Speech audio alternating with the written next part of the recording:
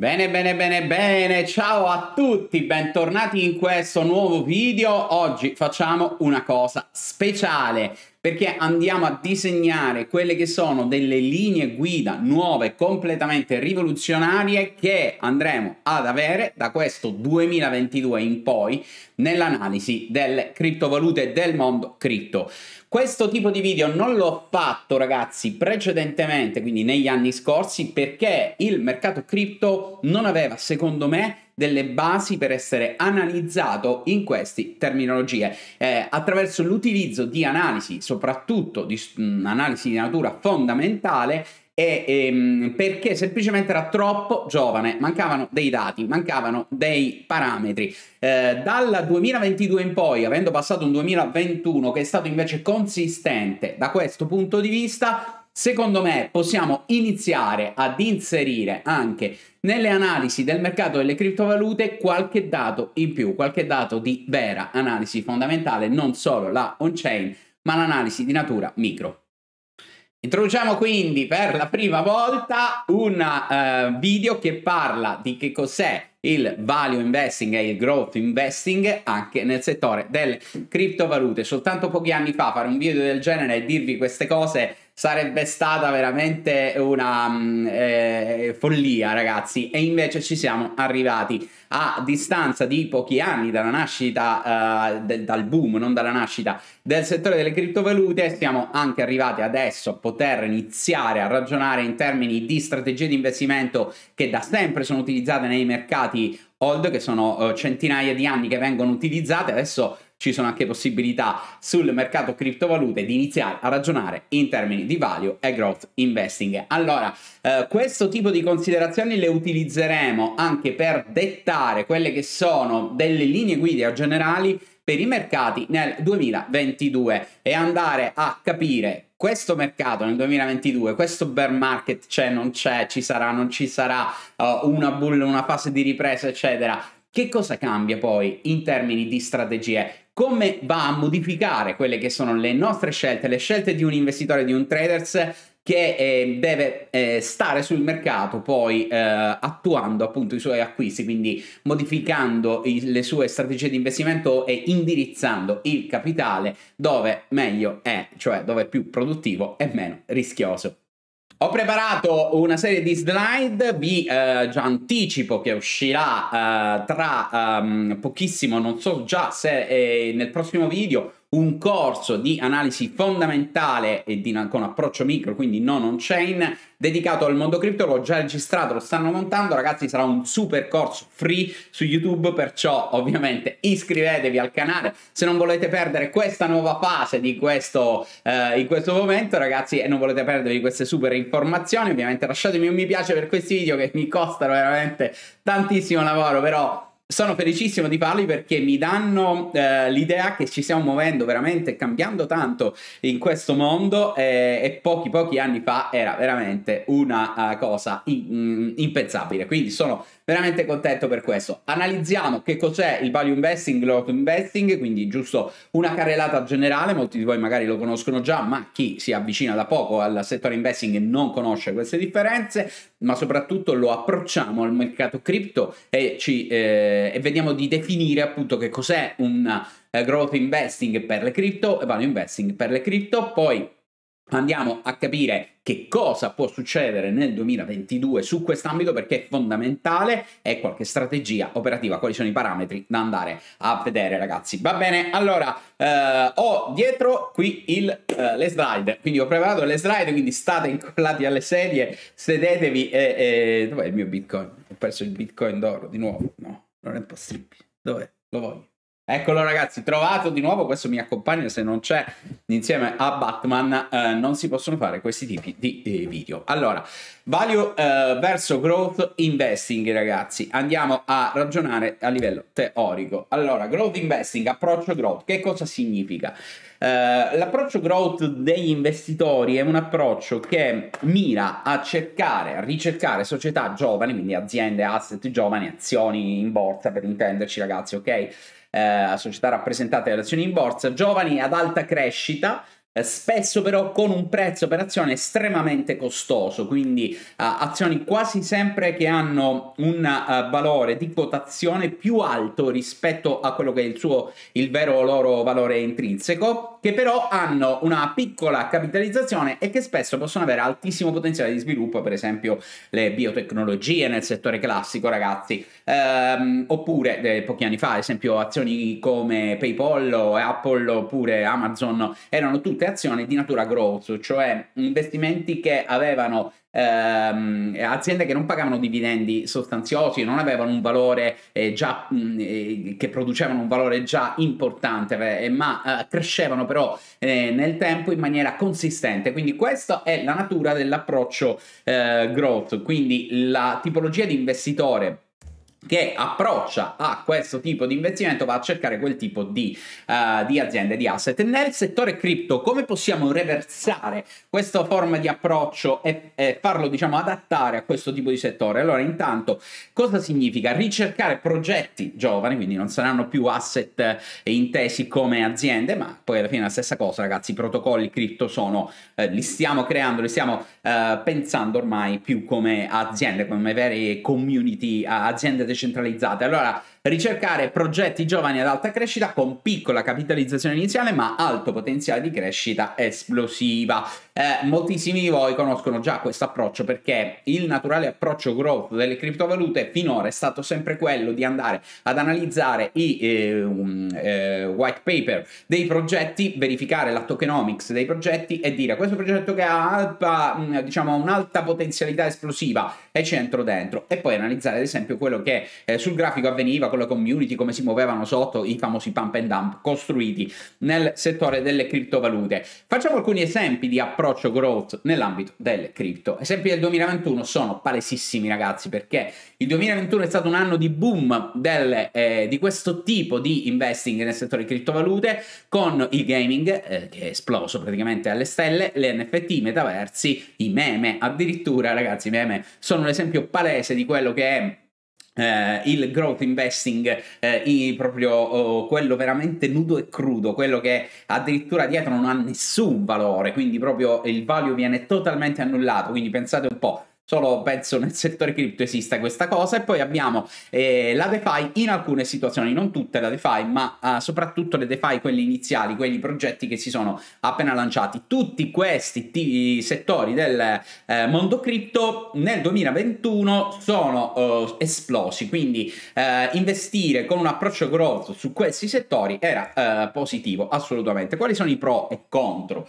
del, di questo tipo di strategie di investimento? Molto semplice. Allora, i pro sono alto potenziale eh, di, di, guadagno eh, cioè, gigantesco. Nel settore delle criptovalute abbiamo visto addirittura nel settore meme avere questo potenziale in maniera enorme, cioè addirittura proprio 12, 13, 15 mila per cento nell'arco di pochissimi mesi. Solo le cripto riescono a, creare cose del genere eh, perché sono um, progetti eh, veramente poi esplosivi quando si vanno a verificare perché si innescano dei sistemi di, di pump estremamente importanti, quindi molto emotivi. Ma dall'altra uh, parte, ragazzi, ci sono anche dei rischi elevatissimi nel growth investing, nel settore delle criptovalute, che è il rischio del crash, la volatilità uh, elevatissima, per esempio alcune delle criptovalute che mentre facevano la loro scalata uh, verso prezzi elevatissimi, verso i massimi storici, a volte anche hanno passato delle singole giornate dove andavano a perdere addirittura il 50-60% in due giorni per poi ritornare magari a salire su nuovi ATH, follie, no? Quindi allora il um, growth investing è affascinante, sicuramente sembra un po' l'approccio dal casino uh, su questo tipo di token. Non tutti i token delle cripto uh, nel settore growth sono così, perché per esempio alcune della DeFi non rispecchiano queste um, follie, diciamo tra virgolette, ragazzi, perché poi il mercato va sempre ragionato, eh, che è eh, follie che abbiamo visto per esempio nei, nei metaversi oppure nella, nel settore delle eh, dei, dei, meme soprattutto, quindi metaversi diciamo dopo la questione Facebook. Però um, una cosa che è molto comune è la volatilità. La volatilità quasi tutti ce l'hanno, quindi il settore growth ha ampio potenziale di crescita, ma anche una volatilità abbastanza elevata. Passiamo all'altro oh, capo del filo, quindi la contrapposizione, che poi in realtà non sono neanche così tanto contrapposti, perché in realtà dovremmo dire che mh, qualcosa che è growth prima o poi si trasformerà in value. Solitamente è così, ragazzi, però diciamo mh, bypassiamo questo ambito di approfondimento, ragioniamo un po' più semplice. Allora, approccio value investing. L'approccio value è molto semplice, eh, ricerca società sottovalutate dal mercato, spesso con prezzo mh, per azione basso rispetto ai parametri di analisi fondamentale.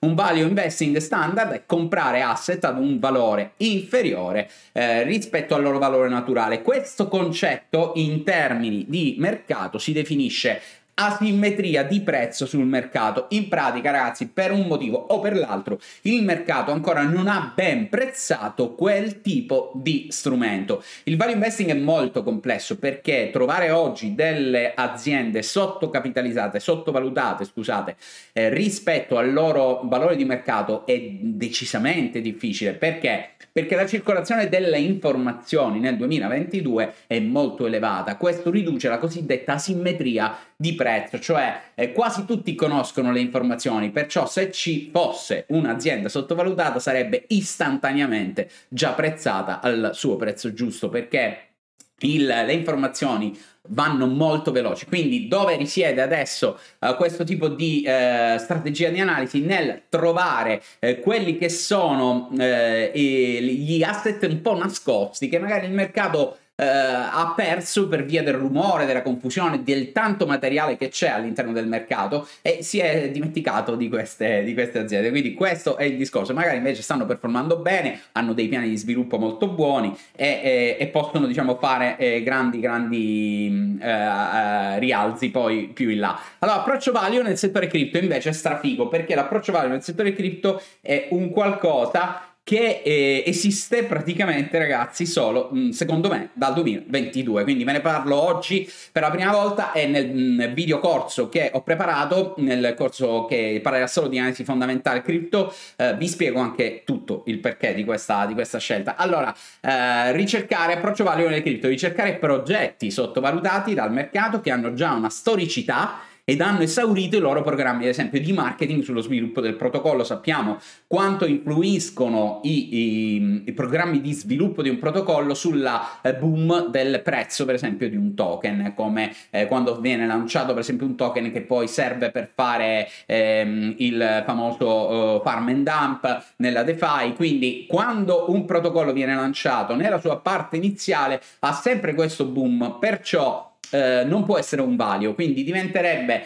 eh, um, analizzato da un punto di vista value solo quando ha finito tutti questi programmi di marketing eh, eccessivi, diciamo spropositati, volti a creare il famoso pump.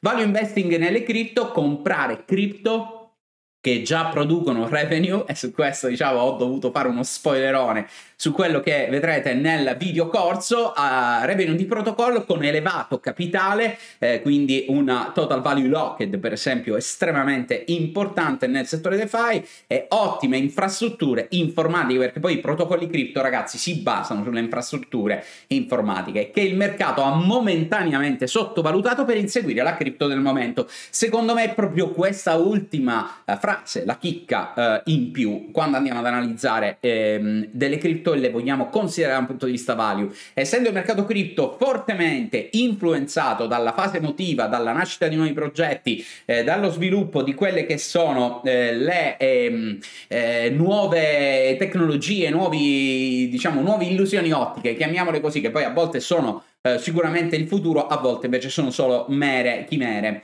Eh, e quindi quando il mercato è influenzato, più facilmente si va a verificare il concetto di asimmetria di prezzo, cioè si, eh, si, ci dimentica che poi esistono magari dei progetti estremamente validi che sono già utilizzati, che hanno già revenue, che sono già altamente capitalizzati, che hanno delle infrastrutture importanti e funzionali e che quindi non hanno bisogno di niente, non hanno concorrenti per nessuno e probabilmente resteranno leader nel mercato. Allora, questa è la value investing eh, delle cripto, almeno secondo me ragazzi, questa è una teoria Poi ovviamente scrivetemi nei commenti il vostro pensiero perché la, um, stiamo facendo un video estremamente innovativo, quindi stiamo andando a considerare queste cose per la prima volta eh, sul canale, probabilmente eh, che ricordi io diciamo in Italia non abbiamo fatto eh, cose del genere su questo momento, poi magari mi dimentico qualcuno, però ehm, ragazzi andatevi a scrivere, andate a scrivere nei commenti anche qual è il vostro pensiero perché è fondamentale confrontarci anche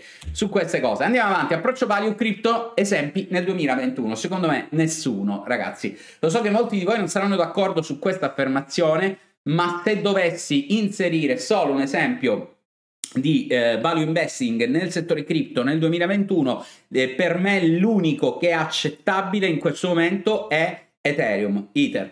Non esistono, secondo me, nel 2021 progetti cripto che rientrano nel settore value investing tranne Ether, Ethereum, eh, perché è l'unico che aveva dati sufficienti, l'unico che aveva una blockchain sufficiente per poter giustificare in termini di value e non di ehm, growth l'incremento che ha avuto de- nel, nel prezzo nel 2021, quindi escludendo secondo me ETH, le altre avevano eh, una scarsità di dati che non ci, han, non ci consentivano di fare un'analisi di value investing, ehm, mentre nel 2022 questi dati finalmente arrivano, perché arrivano proprio dal 2021, dove la DeFi è diventata più corposa dopo un anno e mezzo di sviluppo e di primi errori, di bug e di tutto quello che eh, ne è venuto fuori quindi ehm, nel 2021 per la prima volta il mondo cripto va a strutturarsi una serie di dati che permettono di fare questo tipo di analisi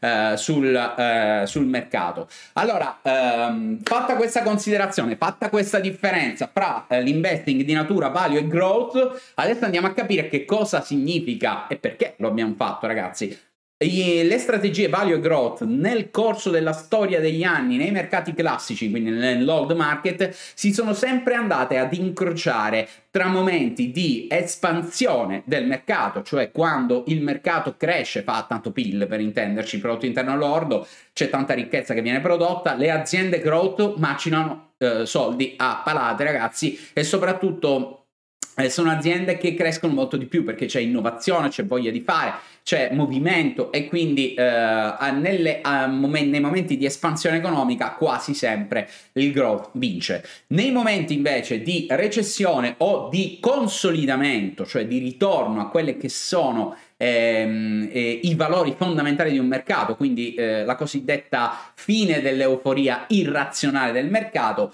solitamente le aziende value sono più consistenti, cioè sono più protettive, riescono a, a, perdere di meno magari o addirittura non perdono, alcune volte guadagnano, c'è un effetto rotativo dei capitali da parte degli istituzionali che vanno a spostare i capitali dalle aziende growth alle aziende value durante i momenti per esempio di crisi o in attesa magari di qualcosa che potrebbe anche andare storto. Quindi eh, questo è il... Um, eh, classico grafico del ciclo value growth, è quella che vedete in questo caso sopra abbiamo le aziende eh, le aziende growth, quindi quando il mercato va a dire vado verso il growth, ovviamente non è cripto ragazzi, questo è nel mercato, è prestato al mercato hold perché sulle cripto non abbiamo dati sufficienti e, e, e invece giù siamo nel settore value. Vedete come la struttura è palesemente ciclica e di questo tipo di Uh, di andamento e soprattutto nei periodi di grande crisi, vedete la fine della bolla di internet per esempio,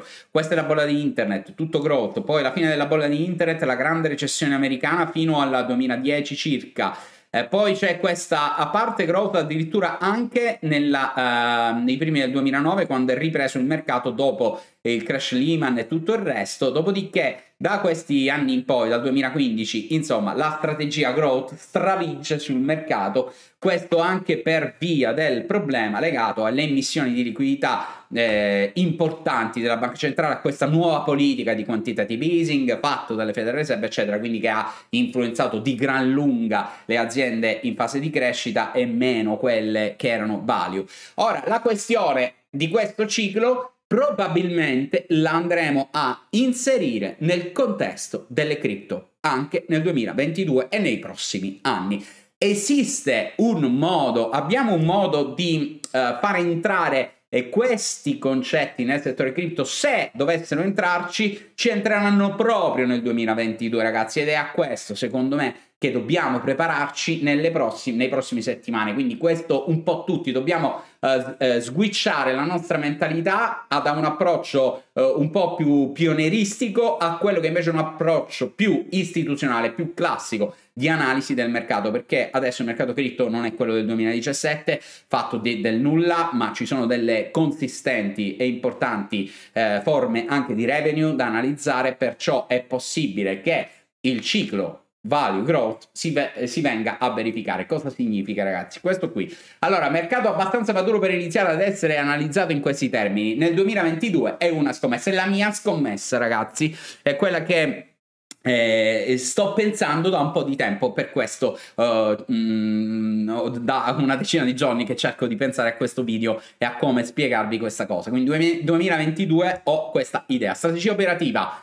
eh, meglio uh, le crypto growth o value nel 2022. Adesso andiamo a entrare nel vivo. Quali sono le cripto che nel 2022 potrebbero aiutarci di più magari a proteggere il nostro capitale oppure a crescere se continua una fase di bolla? Quale scegliamo? Le value o le growth, ragazzi. Allora, dopo quello che abbiamo visto teoricamente tra il 2020 e il 2022, essendo in una fase che ci porta alla cosiddetta conclusione del ciclo dell'halving, eh, teoricamente dovremmo essere nella fase bearish che chiude a fine anno.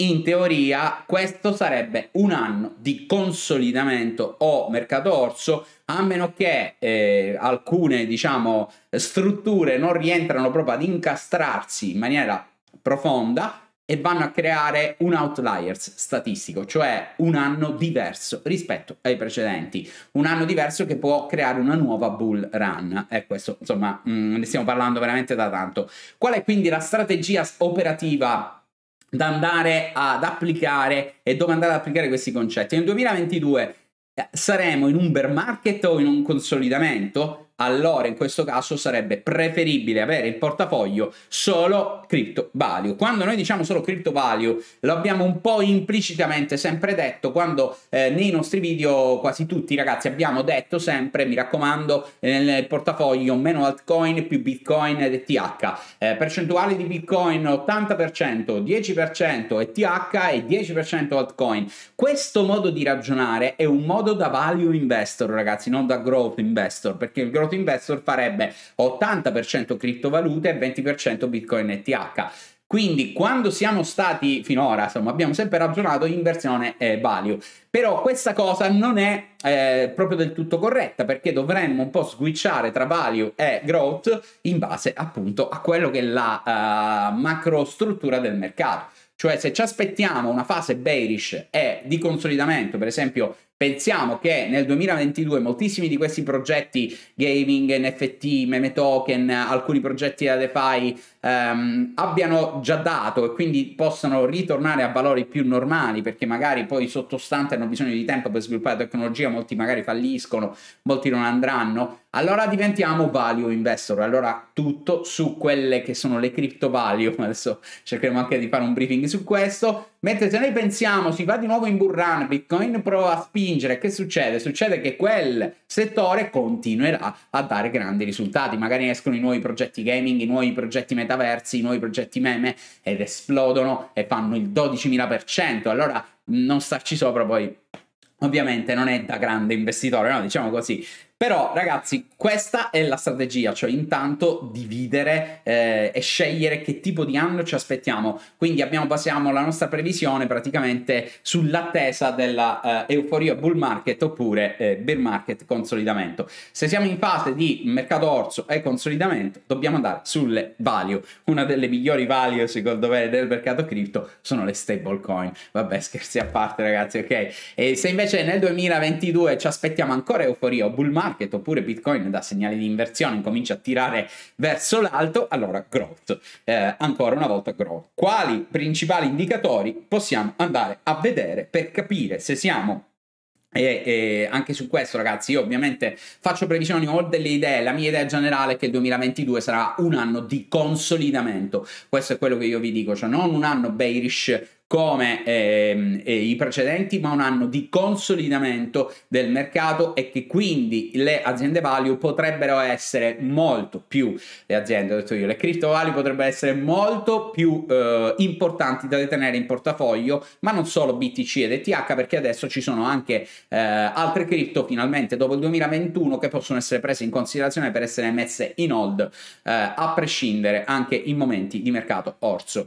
Eh, però al di là di quelle che sono le mie eh, idee generali, io una cosa la faccio, seguo sempre il trend anche in questo. Quindi, se alcuni indicatori mi indicano che l'anno 2022 sarà un nuovo bull, io vado dietro eh, come eh, una pecora in questo caso e, e, e, via con liscio. Allora vado a guardare quelli che sono degli indicatori che mi possono indirizzare e dire siamo ancora uh, in uh, bull market, quindi ancora euforia, vai di growth Ancora diciamo non c'è più euforia, stiamo andando nel bear, vai di value, proteggi, proteggi, proteggi. Questi indicatori sono questi qui e sono molto semplici ragazzi. Andare a guardare il grafico intanto di Bitcoin che è un indice per noi, cioè praticamente come il Nasdaq, come l'S&P 500 per il mercato hold, se Bitcoin sale gli altri seguono, se Bitcoin scende più o meno gli altri seguono, eh, anche se abbiamo visto un po' di decorrelazione negli ultimi mesi, ma è troppo presto per dire che il mercato è decorrelato da Bitcoin, poi settore DeFi nell'insieme e poi Uh, dei grafici di natura settoriale, per esempio andare a vedere alcune di quelle che sono le cripto più importanti del settore gaming o NFT che in generale potrebbero indicarci se stiamo um, avvicinandoci eh, alla fine di questo momento di euforia. Quindi Bitcoin, total market cap della DeFi, evoluzioni dei singoli settori. Ma avete fatto caso che infatti nei miei precedenti eh, workspace di trading ho aggiunto immediatamente la total market cap della DeFi proprio come un indicatore e non più eh, da guardare per semplici investimenti, ma di, eh, di, natura macro, ragazzi. Va bene? Allora, voi siete più growth o value per quanto riguarda il mercato cripto nel 2022? Abbiamo dettato un paletto, abbiamo messo un nuovo paletto a tutto quello che potrebbe essere l'analisi nel settore cripto da qui in poi, nei prossimi anni, ragazzi. Che cosa ne pensate di questo approccio? Positivo, negativo? Questo è un approccio professionale da analista, vero? Quindi non chiacchiere, come si suol dire, ma eh, dati un po' alla mano, quindi più scientifico, sarà un po' più complesso per alcuni di voi immaginarlo. Rivedete il video più e più volte, condividetelo come sempre così date una mano alla divulgazione di queste informazioni e andiamo a, a ragionare insieme. Saremo growth o value? Come sempre secondo me lo decide il mercato, ma io mi preparo al consolidamento. Ciao a tutti ragazzi, al prossimo video.